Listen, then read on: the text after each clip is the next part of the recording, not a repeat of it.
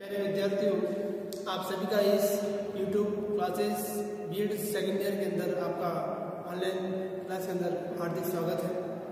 आज हम B Ed second year का कंपलसरी पेपर न पढ़कर हम एच वैसी पढ़ रहे हैं भूगोल शिक्षण शास्त्र। इस भूगोल शिक्षण शास्त्र की जो पाठ्य पुस्तक हम इसका दोहरान कार्य कर रहे हैं। इसके अंदर कई हमारी फ़र्स्ट है भूगोल पाठ्यक्रम और पाठ्य पुस्तक जिसमें हमने भूगोल पाठ्यक्रम के अर्थ और उसके विशेषता के बारे में पढ़ लिया था। आज हम पढ़ रहे हैं कि भूगोल पाठ्यक्रम निर्माण के सिद्धांत पढ़ रहे हैं, जिसके अंतर्गत हमने तीन सिद्धांत पढ़ लिए थे जो इस प्रकार है। तो पाठ्य भूगोल पाठ्यक्रम पाठ्यक्रम निर्माण का सिद्धांत था, उसमें हमने तीन सिद्धांत पढ़े थे। पर्यावरण केंद्रिता का सिद्धांत। मतलब उस विद्यार्थी का पाठ्यक्रम का निर्माण ऐसा होना चाहिए जो पर्यावरण परिदृश्य के ऊपर उसका केंद्र फोकस हो मतलब वो पर्यावरण के आसपास के परिदृश्य से परिचित हो। जिस प्रकार बालक का व्यवहार उस पर्यावरण के अनुसार होता है, कहा जाता है कि जिस प्रकार बालक जिस परिवर्तन में रहता है, जिस भौगोलिक में रहता है, जिस पर्यावरण में रहता है, जिस संगति में रहता है, जिस परिवार में रहता है, उसका व्यवहार उसी के अनुरूप होता है। तो कहने का मतलब है कि पाठ्यक्रम निर्माण ऐसा होना चाहिए जो पर्यावरण के परिदृश्यों को ध्यान में रखकर उस प्रकार का पाठ्यक्रम होना चाहिए जो विद्यार्थी को पढ़ने में बहुत हो वहाँ के आसपास के पर्यावरण के संबंधित जलवायु, मिट्टी, पानी, हवा के सारे में, वो सविस्तर उसके बारे में से ढंग से जानकारी प्राप्त कर सके। सेकंड नंबर था, समाज केंद्रित का विद्यार्थी जब बालक का जन्म होता है परिवार में तो उसका समाज किस प्रकार है? वो समाज में किस प्रकार के पाठ्यक्रम के द्वारा वह अपना निर्माण करता है, क्योंकि पाठ्यक्रम चार प्रकार का होता है, प्राथमिक, उच्च प्राथमिक, माध्यमिक और उच्च माध्यमिक। तो बालक जिस प्राथमिक स्तर पर जब प्राथमिक स्तर पर जब प्रवेश लेता है तो उसका निर्माण धीरे धीरे अवस्थाओं से किया जाता है। मतलब जिसको जिस वातावरण में ढाला जाता है, बालक उसी के अनुरूप अपना निर्माण करता है।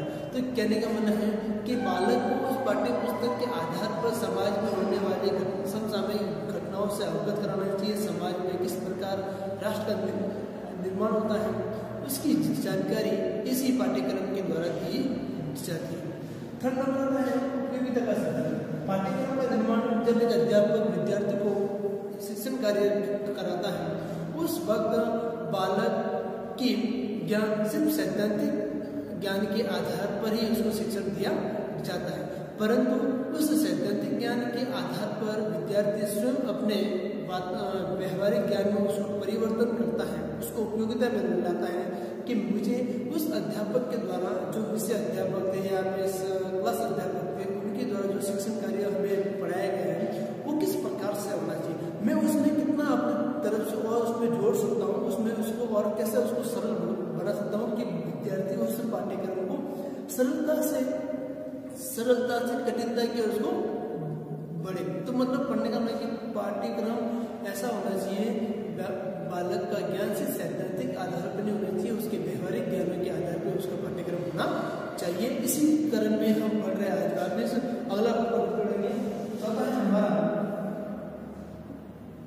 चौथा है लचीलेपन का सिद्धांत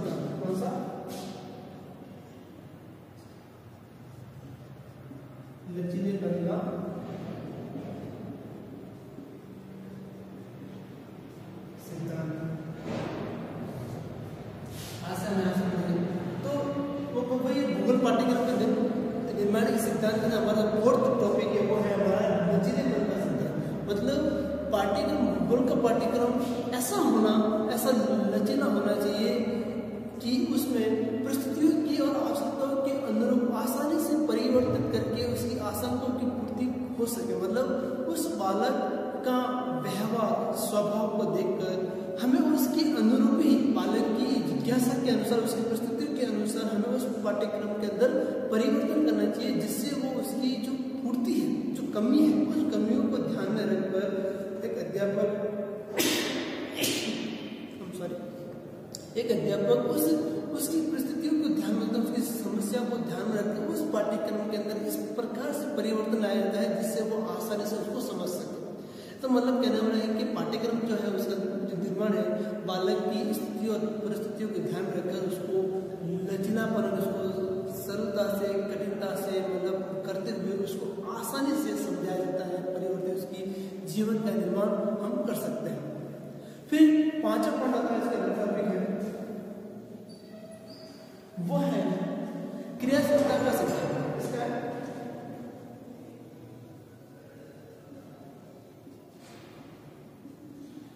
क्रियाशीलता का क्रियाशीलता का मतलब पाँचों जो पॉइंट है हमारा पाठ्यक्रम निर्माण के अंतर्गत है, वो क्रियाशीलता का निर्माण है।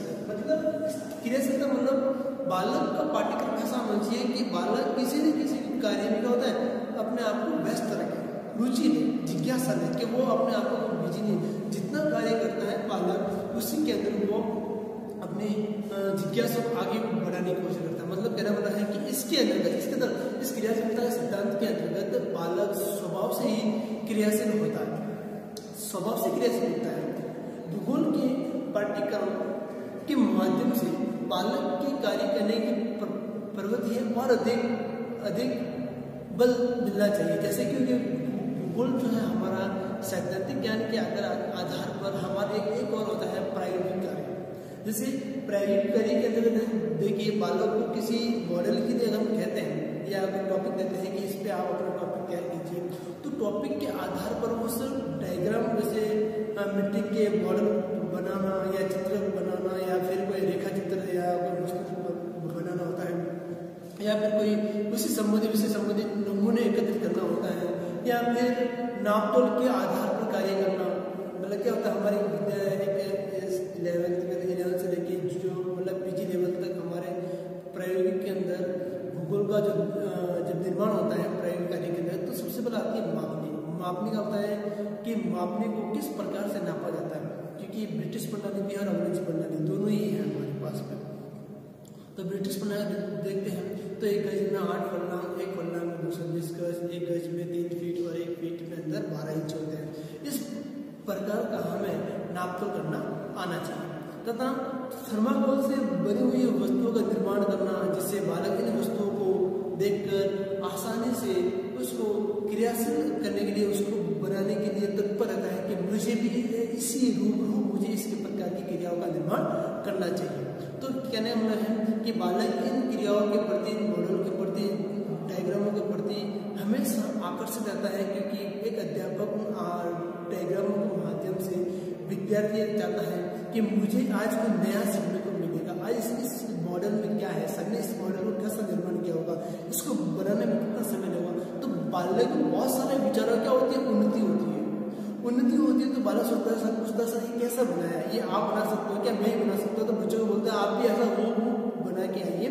तो बालक उस मॉडल की रूपरेखा को उसी रूप में बनाकर आता है, उस प्रकार का कहता है कि बालक का जो कार्य होता है, वो क्रियाशीलता के तौर पर होना चाहिए। छठा है कि अध्यापक से परामर्श का सिद्धांत। छठा पॉइंट हमारा।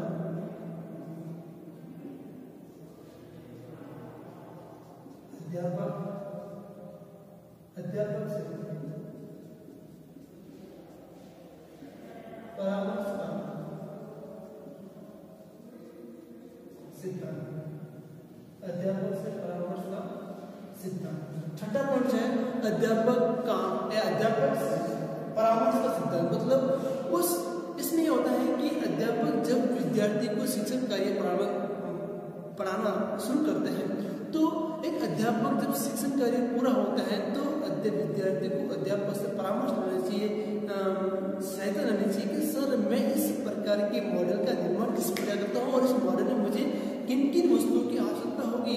उसके लिए उसको बात करनी चाहिए। तो इन्होंने इस शिक्षण अधिगम प्रक्रिया में अध्यापक का महत्वपूर्ण जो स्थान होता है कि भूगोल पाठ्यक्रम निर्माण से पूर्व उस हमें अध्यापक से अवश्य मिलना चाहिए कि हमें सब इस प्रकार के विचारों के अंदर या आचार विचार या मॉडल के अंदर या टॉपिक के अंदर हमें उनसे सहायता लेनी चाहिए कि सर इस प्रकार के टॉपिक में मुझे किन किन वस्तुओं की आवश्यकता होगी या वो बातचीत करने से मालूम पड़ता है।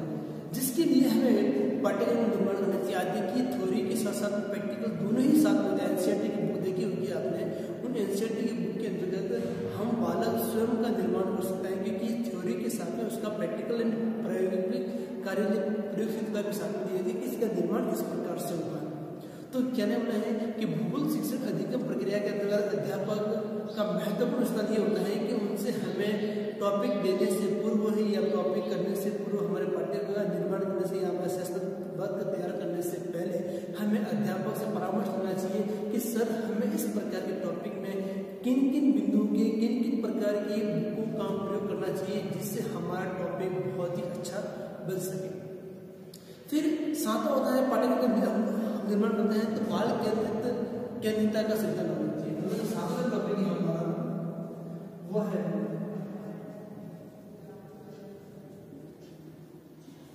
बाल केंद्रिता का सिद्धांत। जो हम पढ़ रहे हैं मूल पाठ्यक्रम निर्माण के अंदर सिद्धांत है, उसमें सातवां पढ़ रहे हैं कि बाल केंद्रिता का सिद्धांत।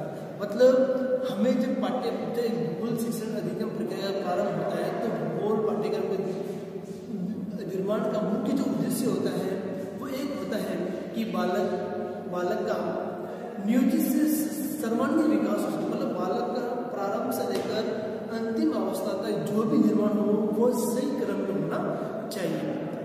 पाठ्यक्रम निर्माण में बालक की आवश्यकता, रुचि, योग्यता एवं योग्यता को शामिल किया जाता है। मतलब उस बालक की योग्यता, उसकी अभिरुचि जिज्ञासा, रुचि, सकारात्मक सोच के साथ में उस बालक के सभी प्रकार के कौशलों को, उद्देश्यों को ध्यान में रखकर हमें पाठ्यक्रम का निर्माण करना चाहिए। तो प्यारे विद्यार्थियों आज हमने पढ़ा कि भूगोल पाठ्यक्रम और पाठ्य पुस्तक के प्रकरण था, अंतर्गत। वो था कि भूगोल पाठ्यक्रम के निर्माण के सिद्धांत पढ़े हमने। आज हमारे सिद्धांत शाम से बालक पर्यावरण का सिद्धांत, समाज सिद्धांत उपयोगिता का सिद्धांत, लचीलेपन का सिद्धांत क्रियाशीलता का सिद्धांत अध्यापक से परामर्श का सिद्धांत और बाल केंद्रित का सिद्धांत। इस प्रकार हमारे भूगोल का पाठ्यक्रम जो निर्माण है वह चार सात प्रकार के शिक्षण बिंदुओं के आधार पर तैयार होता है। तो प्रिय विद्यार्थियों, हम फिर नए टॉपिक के साथ में, नए वीडियो व्याख्यान के साथ में आपसे मिलेंगे। आज के लिए इतना ही। धन्यवाद।